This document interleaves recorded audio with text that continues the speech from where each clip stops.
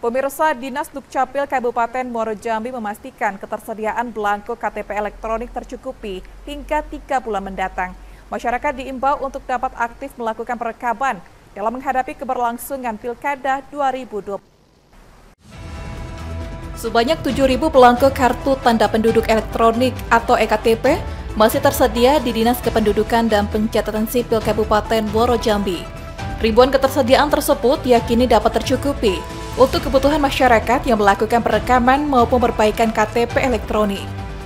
Kepala Distuk Capil Diki Ferdiansyah mengatakan, dalam satu hari terdapat 25 hingga 30 warga yang melakukan perekaman KTP elektronik. Dengan kondisi tersebut, Distuk Capil memastikan ketersediaan belangko tercukupi hingga tiga bulan ke depan. Diki menegaskan, ketersediaan belangko KTP elektronik tidak hanya di dinas, namun juga tersedia di 11 kantor camat. Sehingga masyarakat tidak perlu khawatir dengan ketersediaan belangko dan dapat melakukan perekaman di masing-masing kecamatan. Per hari ini kita masih eh, tersedia belangko sebanyak 7 ribuan ya, jadi cukup aman sampai dengan dua bulan tiga bulan ke depan.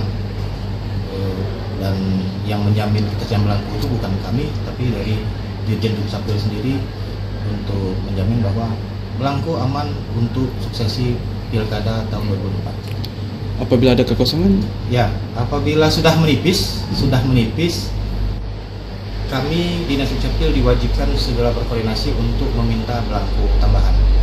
Mini, minimal berapa? Ya, beragam. Ya. Kita harus meyakinkan pusat bahwa eh, sehari perharinya bisa cetak berapa, punya alat berapa, sehingga memang kita harus meyakinkan Dirjen Dukcapil untuk uh, memberikan alokasi yang cukup sehingga kita tidak berulang-ulang terus harus datang ke Jakarta ataupun provinsi untuk kita Untuk alat perekaman kita berapa? Kalau kita punya alat rekam, seluruh kecamatan punya alat rekam. Hmm. Di Dukcapil juga ada alat rekam. Jadi untuk perekaman aman, tidak perlu ke dinas Dukcapil, bisa dilaksanakan di kantor kecamatan. Untuk alat cetak KTP seluruh alat seluruh uh, kecamatan sudah tersedia juga.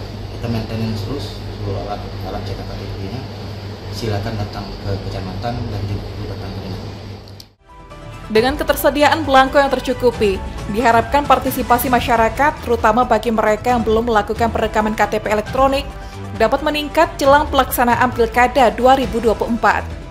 Novia Putri Sanjaya, JEK TV, melaporkan.